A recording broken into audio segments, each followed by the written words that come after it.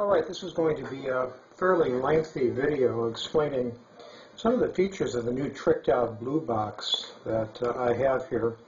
It has the 16 button mem membrane keypad on the front, uh, on and off toggle switch, a uh, LED for special mode status, and a eighth inch mono earphone jack connected to this old Western Electric 500 earpiece with the varistor mode for a speaker for phone phreaking. On the inside is an Arduino Micro uh, from Radio Shack, very tiny form factor, though not the smallest. It's based on the Leonardo architecture, and you can see um, here's the headphone jack, a coupling capacitor, some dropping resistors for the tones to cut the volume down, battery, and everything else just pretty much plugs on the board that's connected with some um, foam pads here to the uh, to the back of this plastic box. The membrane keypad comes through here and just plugs on the back. So for a, for a prototype, it's it's fine. It's fine for some software development, although eventually I'd like to get it into a little better box. So that's a quick tour of the hardware.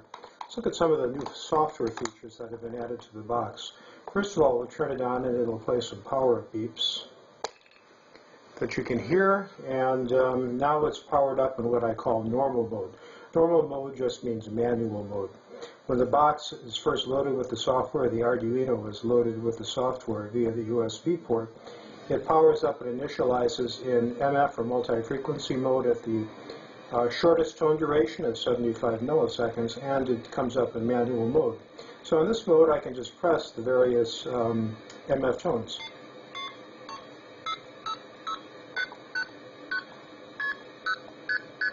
Those are the standard ones, key pulse and start, and then the digitones.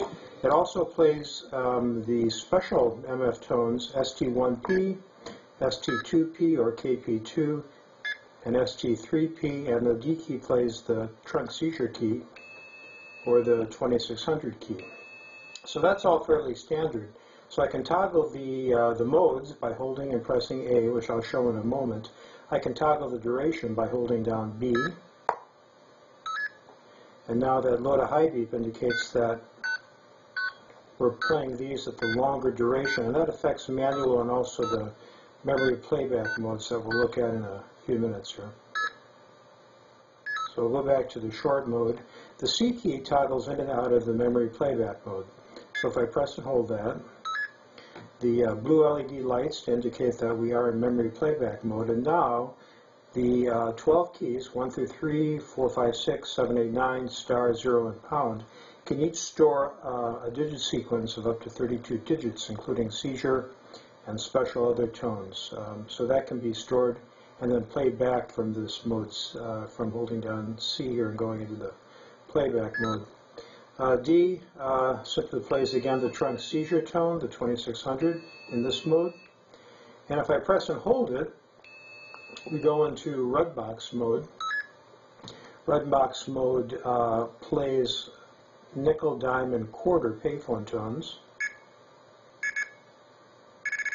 But a special feature is if you go down a row, it'll play two coins of each denomination, two nickels, two dimes, two quarters, three nickels, three dimes, three quarters, and four of each on the bottom row.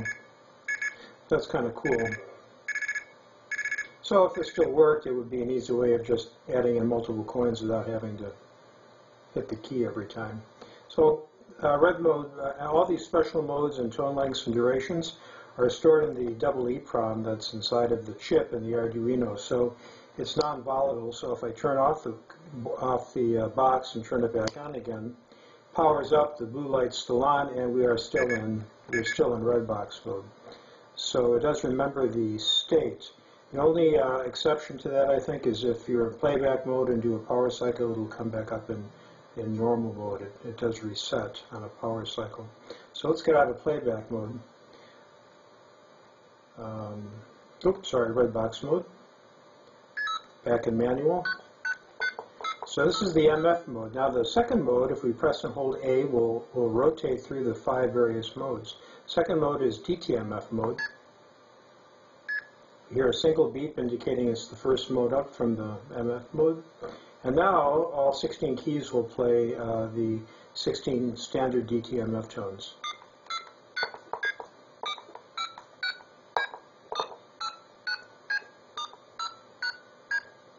And um, that's basically about it. Uh, there's also memory playback mode can be entered from this mode, as, as uh, can, it can in all the modes, and you can also toggle the durations on, um, on DTMF as well.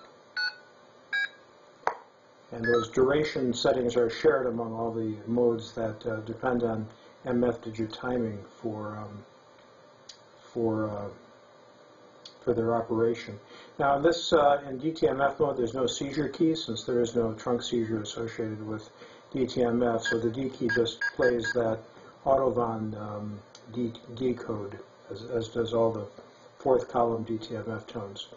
Now, if I press and hold A again, you'll hear two beeps, so we'll go into the next mode.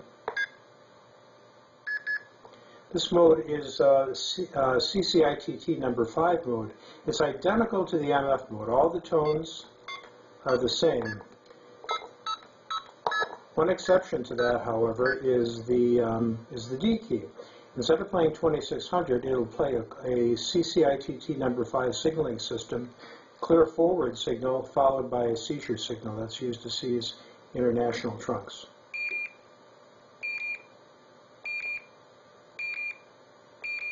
But all the other tones exactly the same. Memory mode the same. You can still go into red box mode from this mode directly by pressing ND. Everything else is the same.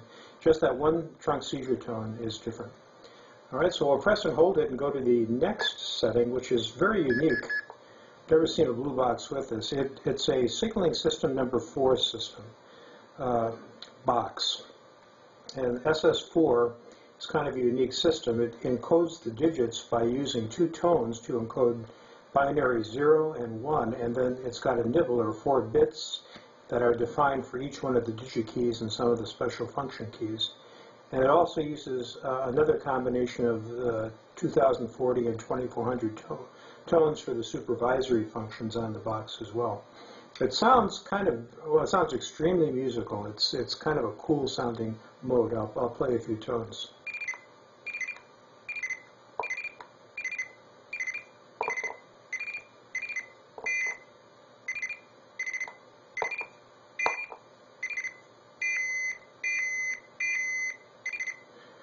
So all these are the digitones, of course. Um, the, uh, the D key, like the other modes, is the trunk seizure key. So it plays the clear forward followed by the uh, seize tone, which is different from C5, kind of a unique set of tones. And thereafter, you have to play a KP tone, which is actually a trunk seizure tone in, in the SS4 system. So it combines the functionality of providing the uh, start indication for the digit sequence, and it also seizes the trunk at the same time. There's two. There's KP1, uh, there's an equivalent KP1 and a KP2 signal. They sound like this. In fact, it sounds just like the seizure, except the second tone shorter. Uh, this is the uh, KP2, which can be used to bring uh, uh, inward operator on the line. And then there's some other and the pound key is equivalent to the MF start key. It's the end of end of dialing. It's all zeros. You can hear the four uh, low tones indicating four zero bits. Very cool mode, and it sounds especially cool in memory playback mode. Final mode, uh, the fourth, uh, four beeps, is the uh, 2600 dial pulse mode. This mode was made famous by Joe Engressia, the famous blind phone phreak who could whistle uh, at 2600 by beeping out sequences of digits into old step tandems and place free long distance calls with really nothing more than a whistle. So this just does the same thing that Joe did, but in a more sophisticated and more convenient way. So in this mode, um, it works exactly like a telephone dial. Anything I dial, and the only digits active are 1 through 9 and 0, and the D key for the trunk seizure, uh, it'll actually play back the 2600 tone at the same make and break ratio as a standard telephone dial. and the light flashes along with the dial pulsing.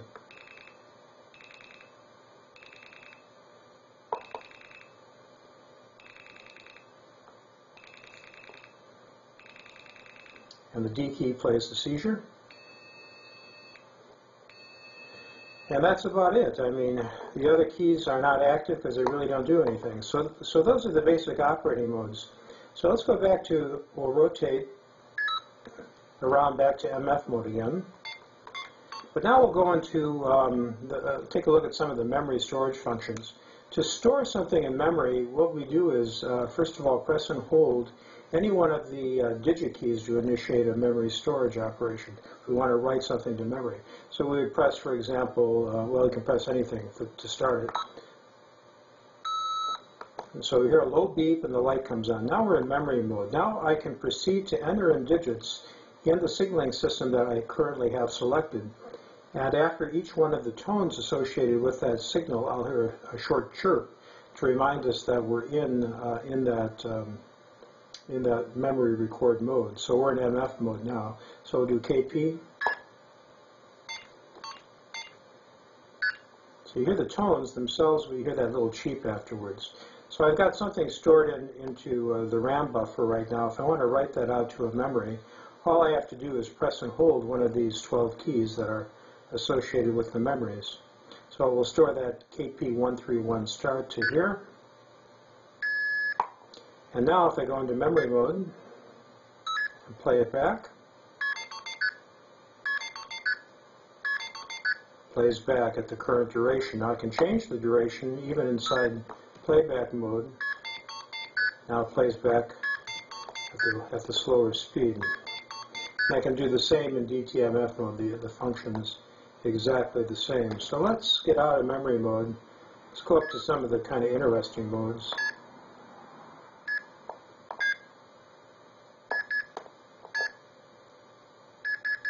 Here's the SS4 mode. This is kind of cool to hear in memory. See how the record function works here. So we press and hold um, any one of the keys again to initiate it. So now we're in memory record mode. So let's do a, first of all, a trunk seizure. And then a key pulse, which is actually the seizure tone. And then we'll dial, um, I don't know, zero.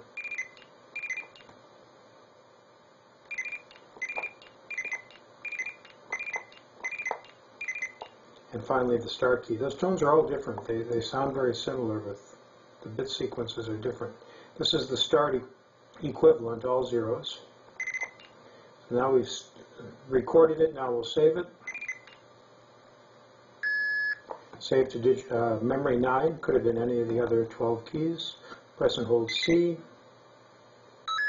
play it back.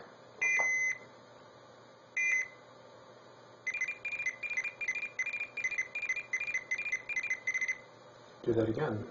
Sounds cool.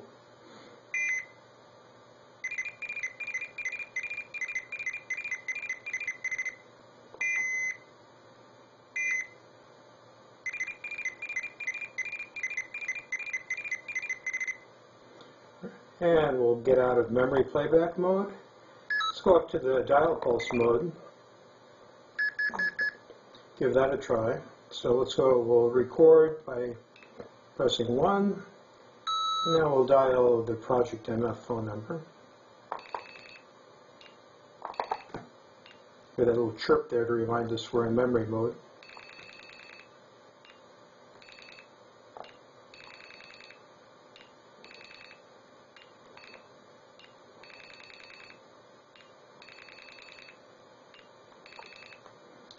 And we're done, so we'll save it to memory 0. After it dials, I keep holding it and it saves it. Now if I go in memory mode,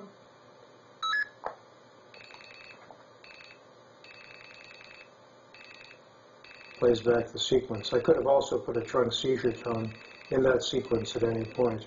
Cool thing is you can have a mixture of different toning signaling systems in different memories. Um, and because the actual tone mode or trunk system mode is stored along with the uh, digit information.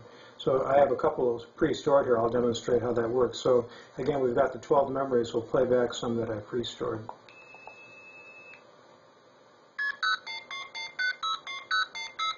Set the slow mode. Let's speed that up. That's MF, of course. Seizure. And we'll do DTMF. Uh, this, I think, is... Um, uh, C, uh, CCITT5 with the uh, unique clear forward and seizure signal at the beginning.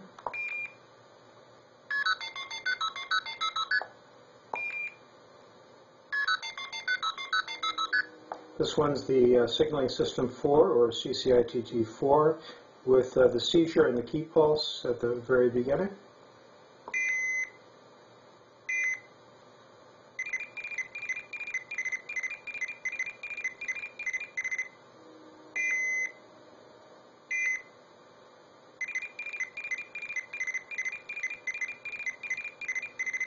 And finally, the dial pulse.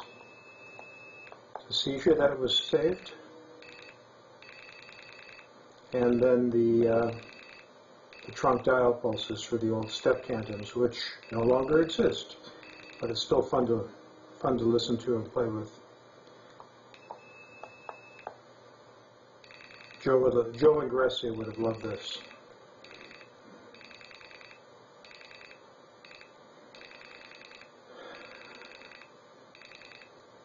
So that's a quick tour of the functionality. Uh, I'm going to hope, hopefully get this into a better enclosure soon and hopefully release this out to the world at some point as it's quite easy to build and quite easy to upload the code to.